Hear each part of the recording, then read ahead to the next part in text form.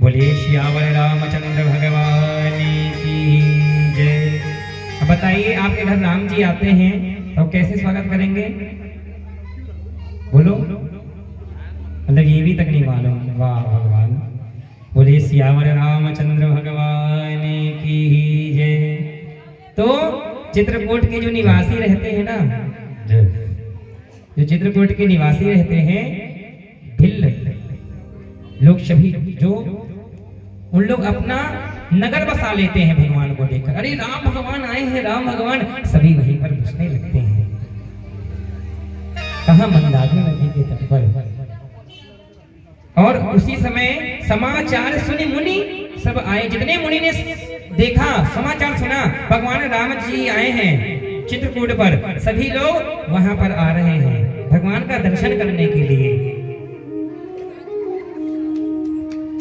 और सबको आते हुए भगवान रामचंद्र जी देख रहे हैं। मुनियों को, ब्राह्मणों को विप्रों को आकर प्रणाम करते हैं। दंडवत रघुकुल चंदा रघुकुल रघुकुल नाथ भगवान, श्री रामचंद्र जी, उनके चरणों में लेट कर प्रणाम करते हैं महाराज। सभी मुनियों के, सभी लोग बैठकर भगवान रामचंद्र जी से पूछने लगते हैं, कैसे भगवान? आप यहाँ कैसे?